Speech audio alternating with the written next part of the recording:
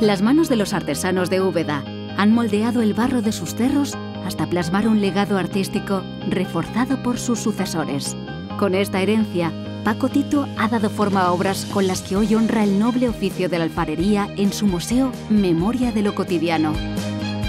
En innumerables creaciones, este artista andaluz ha dado vida a la materia inerte y ha llegado a construir hasta 25 figuras que cuentan la historia del célebre Quijote de la Mancha.